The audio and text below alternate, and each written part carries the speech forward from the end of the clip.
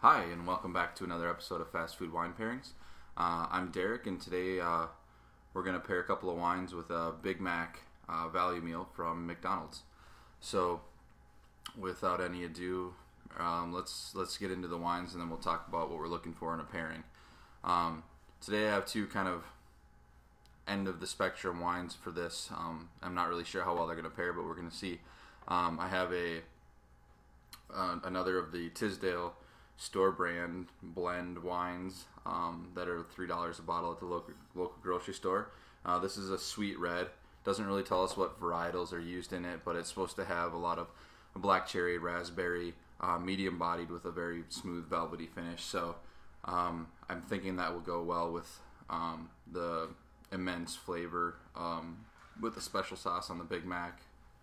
Um, and we also have a Chenin Blanc from Sutter Home.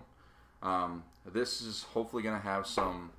I don't know for sure, but what I was looking for with the, this pairing was a pear apricot um, with a little like oak and um, uh, vanilla notes from the oak in there to uh, even this out. So let's let's go ahead and try the wines here.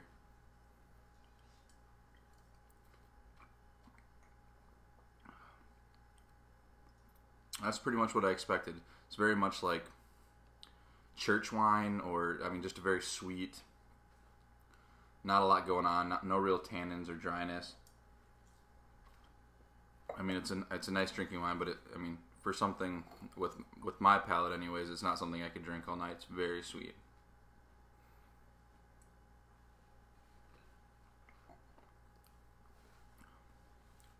Definitely a crisper wine. I wouldn't call it dry, but very crisp. It's got those pear and apricot notes that I was I was hoping for, as well as just a little bit of oak um, hint in there, French or American. I'm not sure.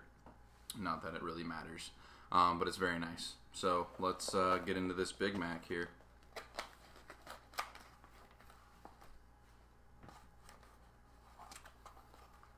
think it's been since I was about eight years old since I've had one of these, so exciting.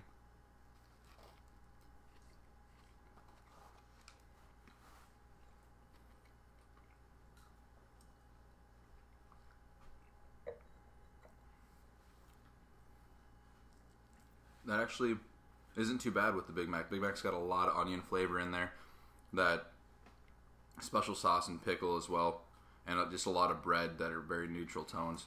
So uh, the sweetness of that wine is not unpleasant. Um, let's see what the other one's like.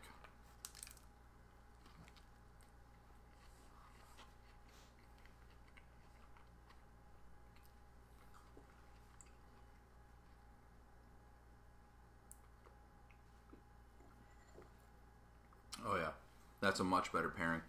Um, they're both good, but uh, I would say if you're going out for a, a, cheap night on the town and you're picking up a Big Mac and a bottle of wine, uh, a Chenin Blanc or an equally fruity, medium-bodied, but a little bit of oak um, backboned white wine would suit you quite well. You might be able to get away with a, a California Chardonnay or a uh, Pinot Gris or something of those of that nature, but uh, yeah, the uh, Sutter Home Chenin Blanc goes quite well.